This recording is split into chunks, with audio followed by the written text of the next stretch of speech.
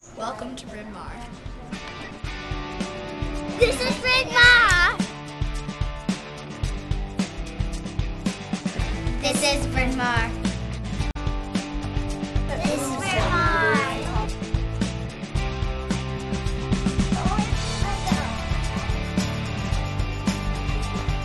This is Bryn Mawr. We're um, working on writing about our 100.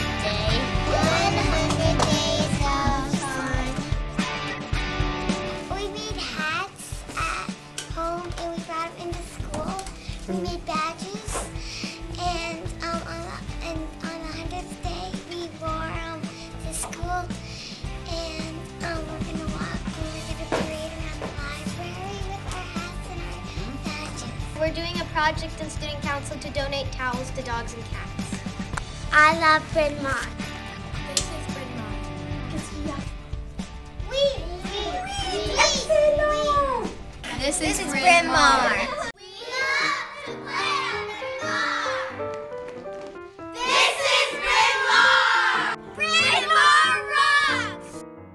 Wore masks and traded jobs for a day.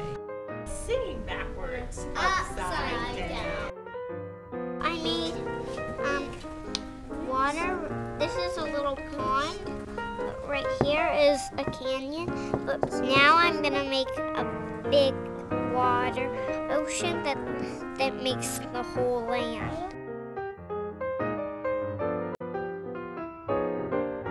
I like the DNA playground the most. Do you love Bryn Mawr? Yes. In kindergarten, we saw the lambs. In first grade, you go and you hatch ducklings.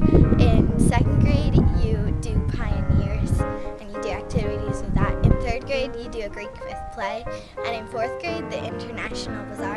And this year, in fifth grade, we do, we go to Echo Hill. I really love Bryn Mawr because we do so many like fun charity activities. At Bryn Mawr, and it just changes you as a person.